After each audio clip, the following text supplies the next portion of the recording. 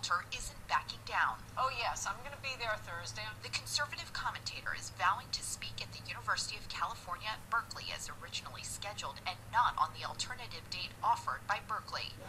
In February, violence broke out on the campus hours before another right wing media figure, Milo Yiannopoulos, was scheduled to speak.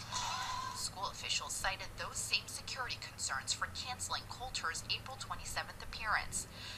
University, however, reversed its decision soon after and offered Coulter a makeup date on a day she said didn't work for her or the entire campus. I found out later there are no classes that week. College Republicans have sued to allow the speech to take place this week as originally planned, although Coulter says she'll appear at Berkeley with or without the university's permission. All of these things come together to show how cocooned and out of touch Universities are today.